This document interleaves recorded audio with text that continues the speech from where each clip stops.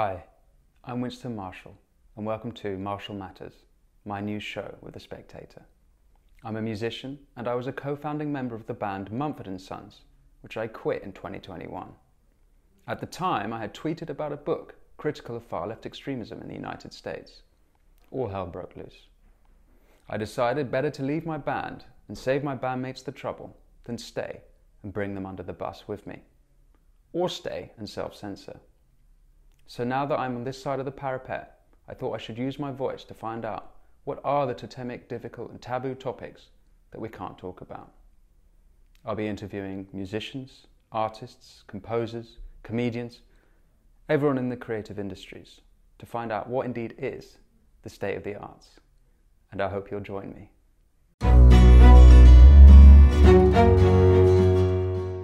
Hello and welcome to the Spectator offices in London.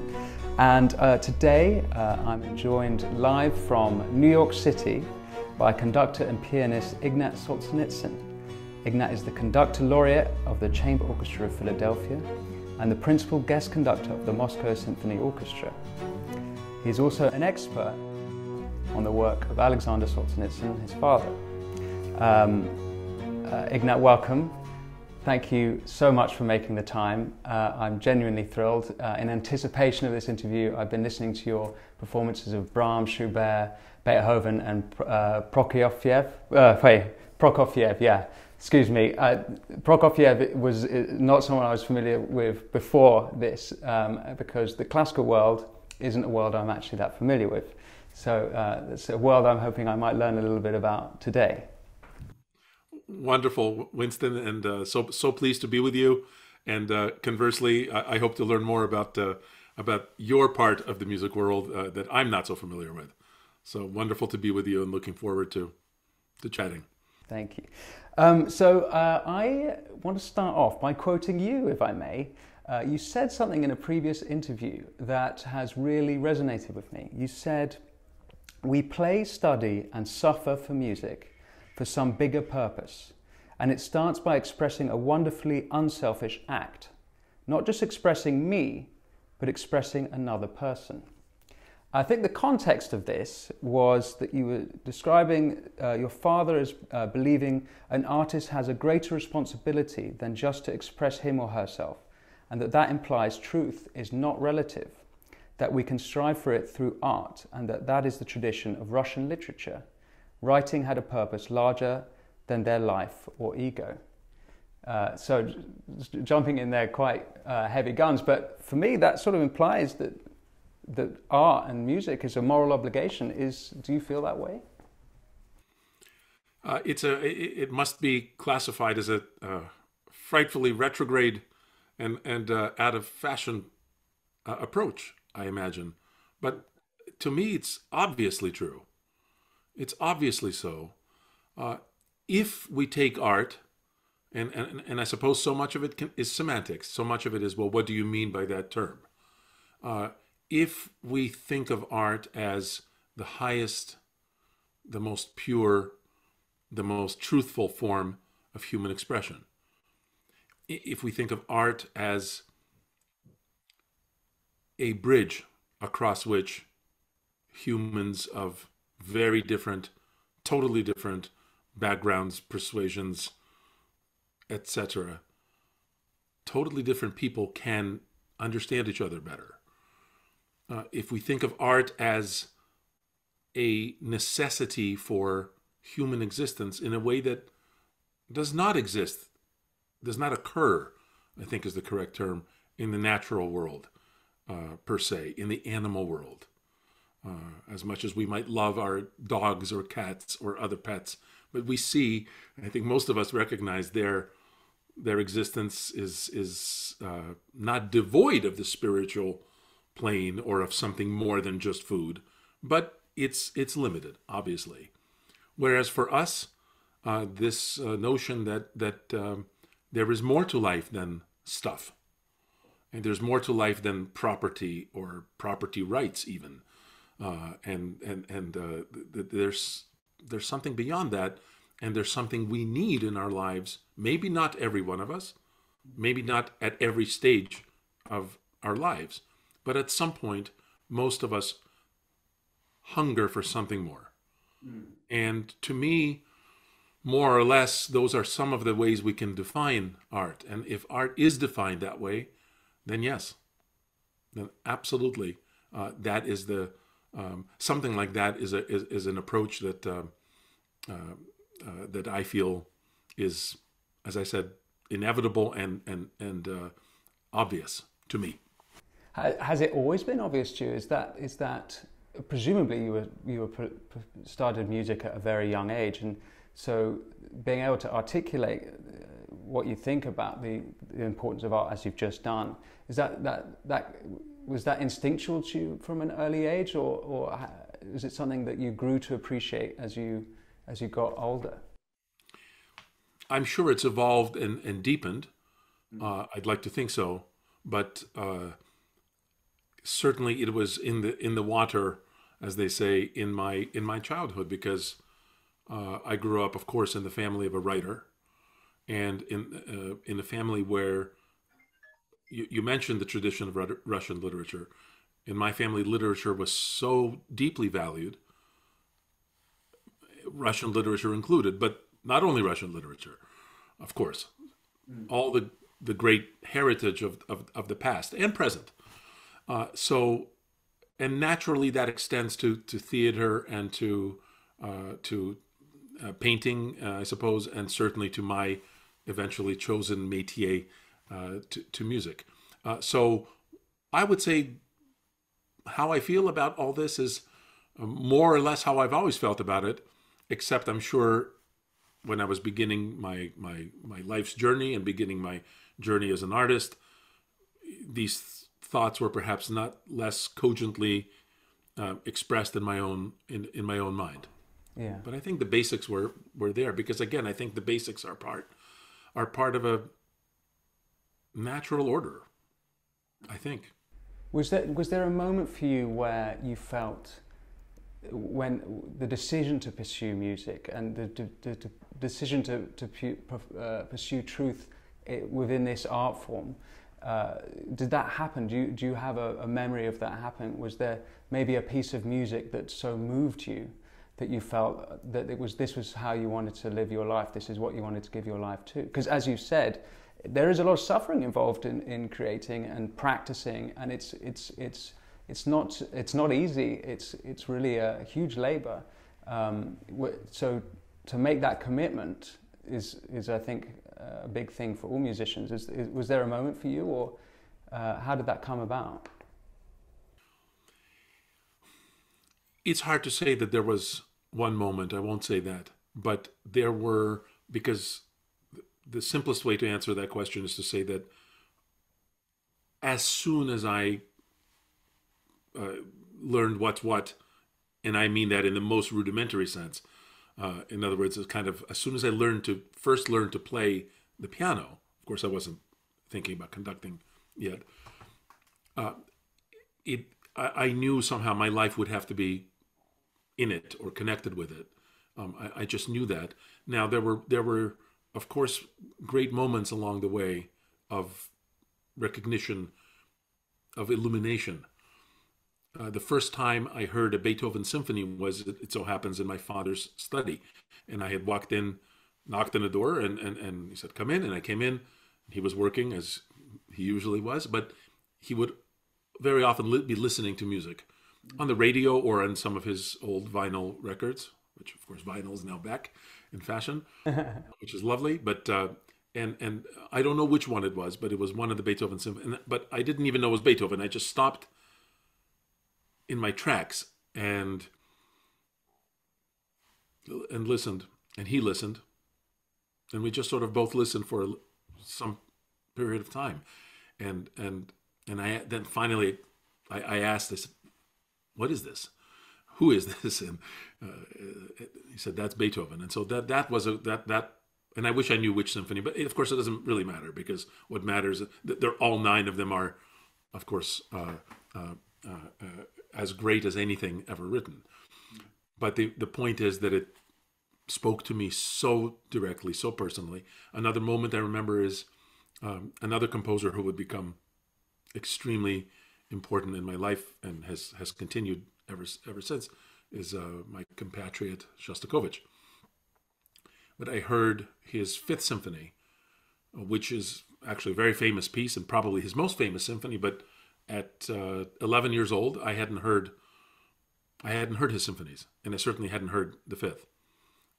And I was at a summer music camp where the orchestra, uh, not very well, but well enough to convey some sense of the of the genius and of the power and as you say the suffering in that music played played this piece. And and it, it was just overwhelming. It was overwhelmingly powerful uh, overwhelmingly important to experience that kind of direct power even more so of course live than um, as you and I know than just on a, on a recording. So so those are a couple of moments that come come to mind. But I think the the the, the key the key point is that just uh, from from from early age, I just uh, and by the way, I didn't start playing that early, which can be two years old or three years old very commonly. But in my case, was I didn't start at all until six, and I didn't begin proper lessons till nine. So by by pianist standards, that's on the late side. But on the other hand, very, very soon after that, I knew my life needed to be uh, somehow closely connected or just in with music and in music. Wow. So an obsession then that, that you've pursued through that time. There, there, there's something that, that, that resonated for me because I remember uh, start, when I started for music, it, it was never, um, I, I never really philosophized about it. I just sort of did. I did it. I needed to do it. And then uh, when I started trying to articulate it, uh, articulate it, for me it was I needed to express my. Uh, this is me expressing myself. But what you've got me thinking about really is this. It's actually there's a, a moral, this moral obligation idea. This idea that actually it's it's the pursuit of truth and the, and the, and we owe it to our neighbours, to our our fellow man to uh, pursue this art. Uh, it's just kind of thrown my, my week a little bit off because I, I never thought about it in that in that way, and and has I found it very. It's been really challenging me uh, in a very positive way. I think. Hopefully. It's a wonderful thing, Winston, that, that what you're saying in, the, in your response, and of course we, it's it's very personal, and and I'm sure each one of us can and should articulate his own way of thinking that, and so far be it from me to kind of impose that as a as a prescription on any, but just it's really a very personal interpretation of of uh, of what it means to be in, in, our case you and I a musician, and and and really it's I, I think it's just part and parcel of the broader idea. I think it's still universally accepted, rather universally accepted, at least in the Western world, uh, that um, that we are each of us part of a broader whole whether of a broader group, whether it's our neighborhood, whether it's our city, our country, our common humanity. And as part of that community, uh, we each contribute what we can. We each contribute the, our best, one hopes. And we all have diverse talents and diverse areas in which we can bring something to contribute. And so, if one senses that ability and that talent and that, as, as you say, need to to articulate and express something something maybe greater than ourselves, then yes, I think there's a moral obligation to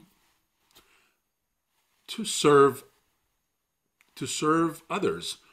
Uh, partly, isn't it? I, I hope that's not too too grandiloquent to suggest it's it's about more than just me and my needs. It's about more than just me maximizing my uh, uh, market value or whatever is the, uh, the, the economic term for that. It's it's about con- contributing something, and that does feel like a moral obligation, even if it's a, a small one on a small scale of one individual.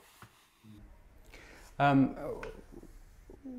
one of the purposes of, of this uh, interview is, uh, and the various people I want to interview, is to look at freedom of expression within the creative industries. And I know very little about the classical world, but I have seen various articles over the last couple of years um, about how uh, the classical world is coping in these sort of uh, culture wars and, and uh, some uh, headlines suggesting that Beethoven's too white and too male and being uh, cancelled in some places and uh, racial quotas for uh, orchestras and uh, resignations over decolonization of the, of the Western canon, things like this. Now, are these real things? Are these palpable? Do you, do you, have you come across these kind of phenomenon within classical music? Do you, um, do, are they something to be worried about, or, may they, are they perhaps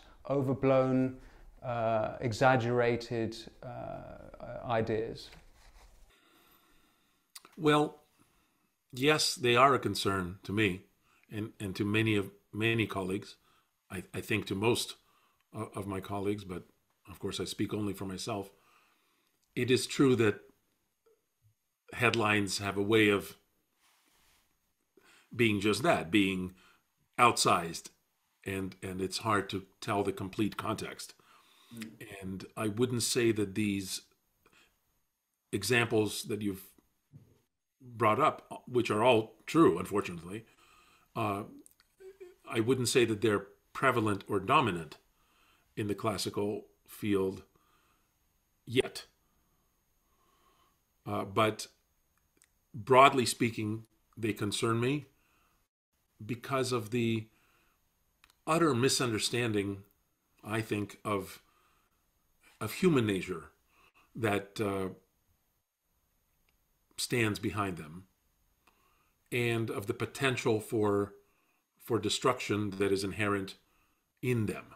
It's just speaking speaking broadly, mm-hmm. and I think that this is uh, this is a big big concern in in the world of arts and really in the broader world, in the broader Western world, um, at the moment, it's a big concern because uh, the very values that have made the West what it is, for better or worse, uh, are, it seems, not only under attack but are are being doubted uh, by sort of by the very cultures or countries or communities that have brought them forth. And I'm thinking in particular about values of tolerance and values of uh, diversity of opinion and and values of grace, uh, listening to another's point of view, respecting another's point of view, making room for many points of view, and so forth. Uh, these are all. These are real concerns. And um, are they? Do you feel like with your contemporaries that are these at least conversations that can be had, or um, uh, uh, or is there uh, a feeling that actually it's a dangerous conversation to be had? Um, uh, Winston, the, the, your question is uh, appropriate and very depressing, because because think about what you just asked, and I, I know you have. Uh, is it a dangerous conversation to have? What point have we arrived at where, again, thinking of, and I just don't uh, feel qualified to speak about broadly the whole world because mm. there are many contexts and many cultures and many different histories, but but I do feel quite confident speaking about um, uh, one of the worlds is is is this is the is the traditional uh, Western uh, Western under, Western world and Western understanding of tolerance, uh, particularly the one that comes from English common law, uh, and and the one that has been uh, promulgated and amplified and established in in the United States with that very famous uh, and enduring Constitution, uh, and how can there be how can a conversation be dangerous how can it be dangerous to exchange points of view how can it be dangerous to have a disagreement? Hmm. But it seems that uh, we are heading precipitously uh, in, in, that direction. And uh, yes, I think that people are afraid uh, simply to to say, really, to say exactly what they think. It's a different question that it may not always be civil to say everything one thinks. I think we learned that from our mothers or from, from our from our fathers that you don't have to say everything that's on your mind.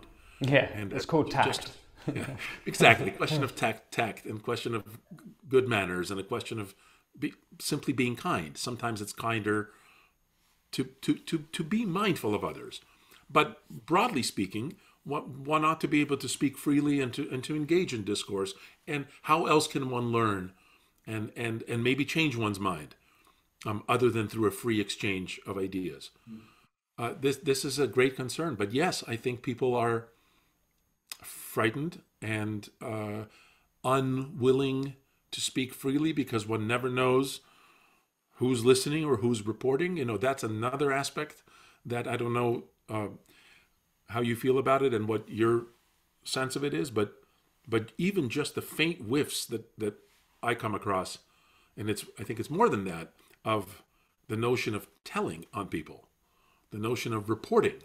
Mm. As soon as a an, a, a, a, view that somehow uh, ranges outside an increasingly narrow orthodoxy is expressed, it must be okay, not engaged with, not defeated, not exposed for the foolish or or uh, retrograde view that it surely is, but it must be reported. It must be reported so the appropriate authorities can deal with it. And this is this is Stalinist. Spooky language. This is this is awful.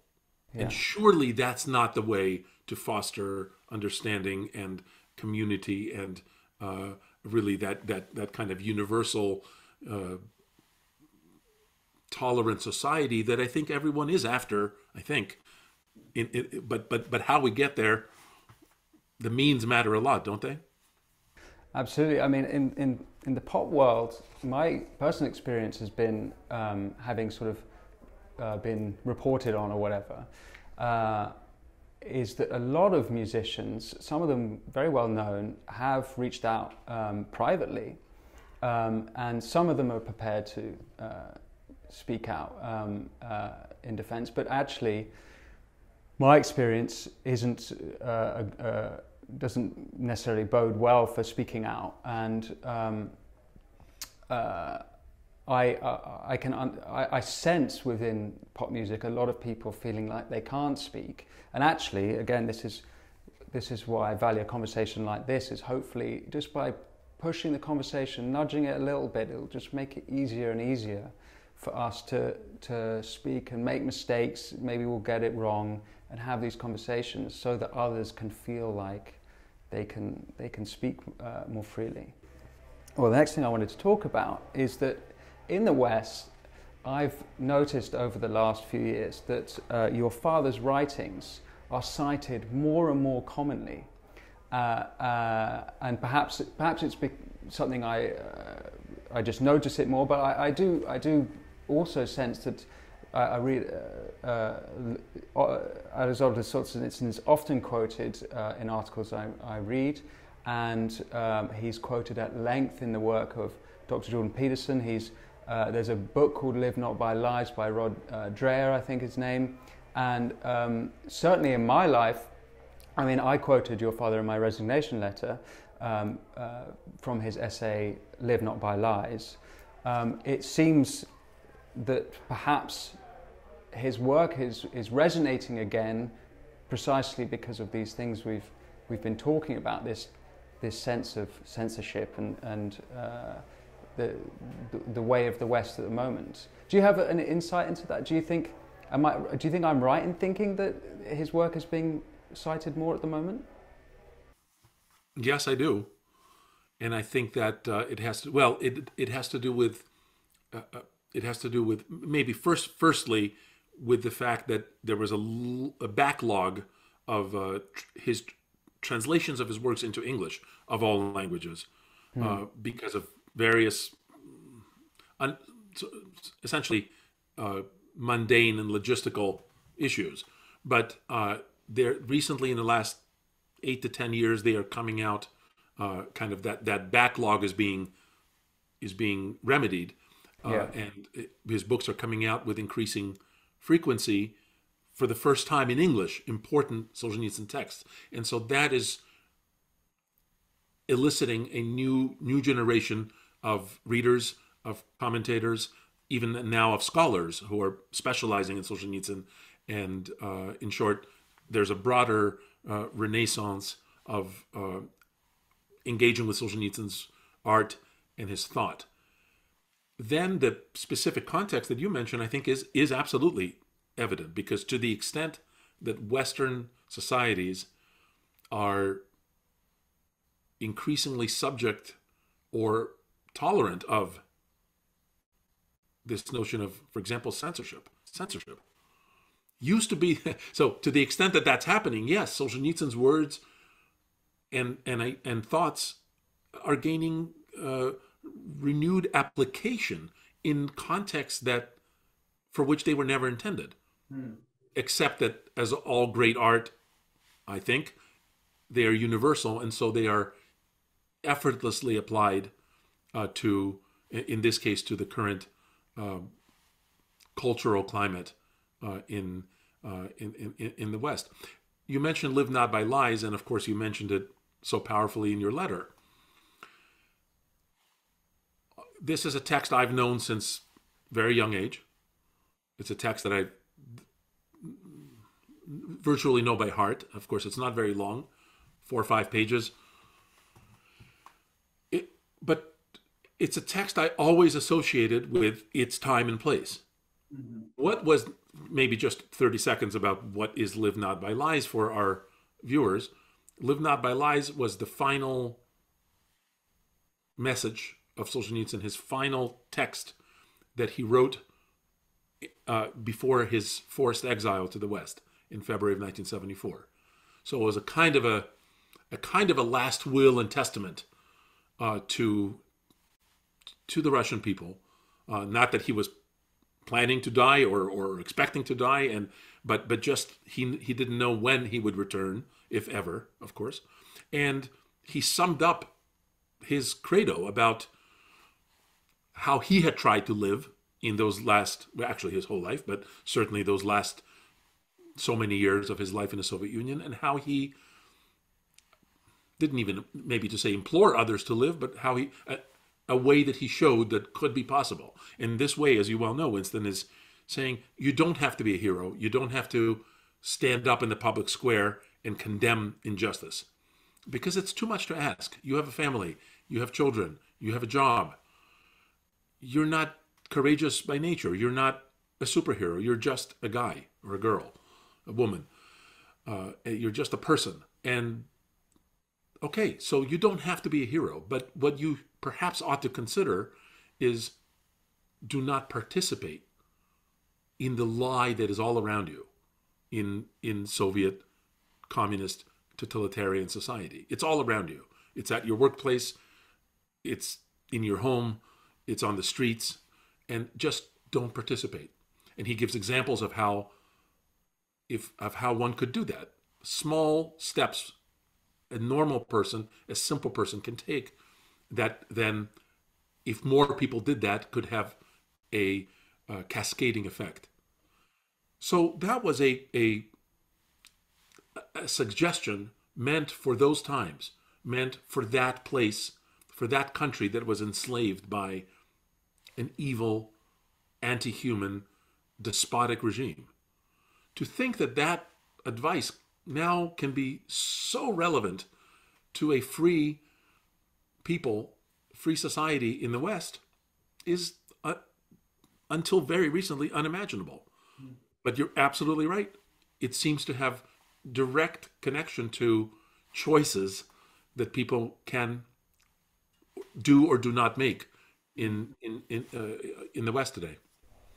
It's funny for you to describe it as a sort of gentle uh, uh, text because for me, actually, uh, and I've read it a lot this year, uh, particularly before um, resigning from my band or quitting for the band. And actually, I just wanted to, if I may, read one particular paragraph which I read over and over this year, and I didn't take it at all as a light like it, I took it as a like a very um, a, a, command even uh, something I felt it, it, it resonated it, it, hit me so deep that I, uh, that I, there was nothing gentle about how I interpreted it let's put it that way um, And he who is not sufficiently courageous to defend his soul, don't let him be proud of his progressive views, and don't let him boast that he is an academician or a people's artist, a distinguished figure or a general.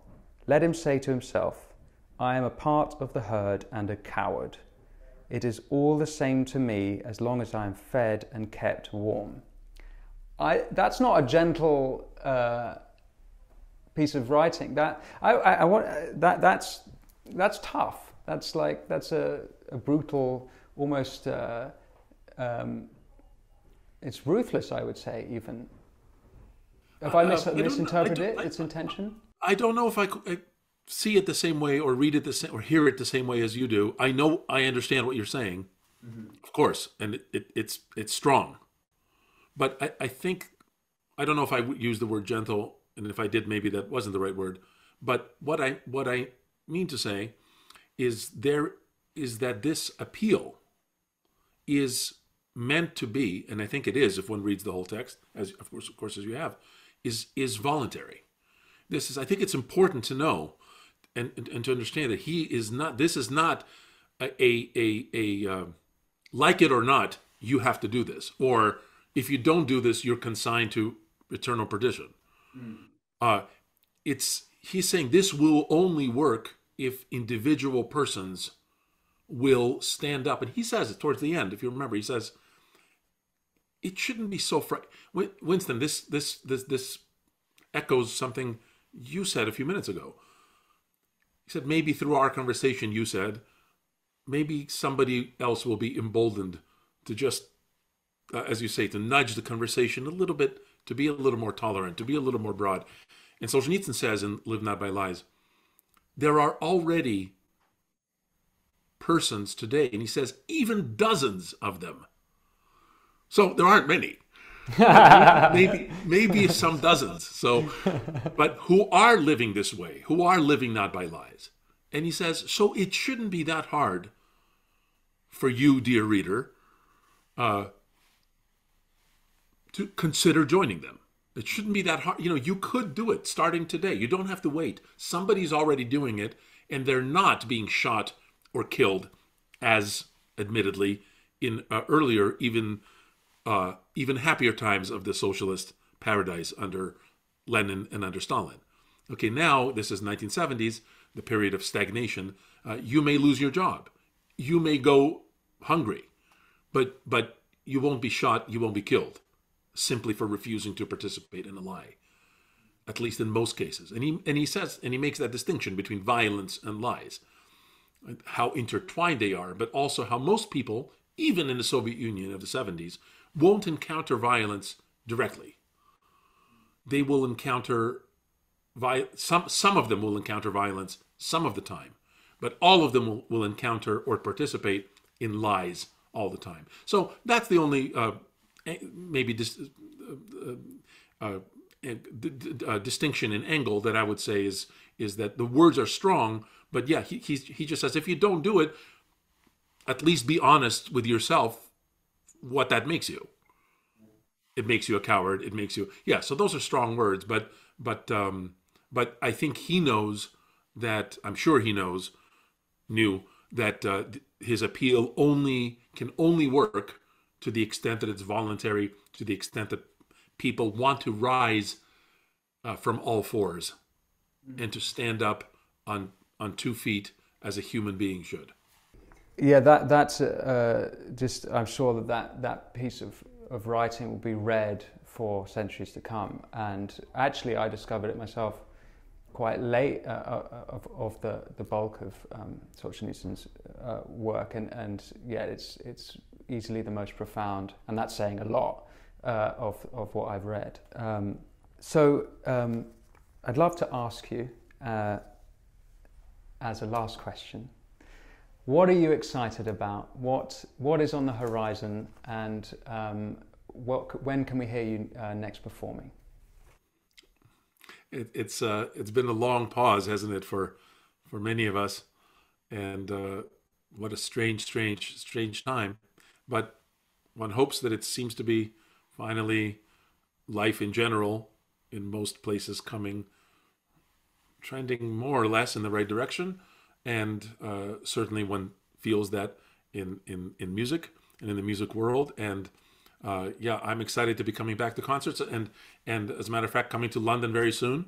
And uh, Oh, would, would love, love to see you there, uh, performing at Wigmore uh, Wigmore Hall uh, in London in February.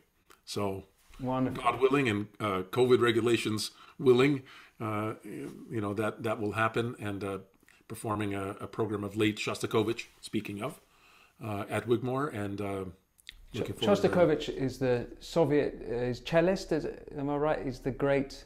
Have I got that That's- right? No, that's Rostropovich. Oh, sorry. Yep, a, a- lot of the sort of similar or rhyming names certainly in Russian.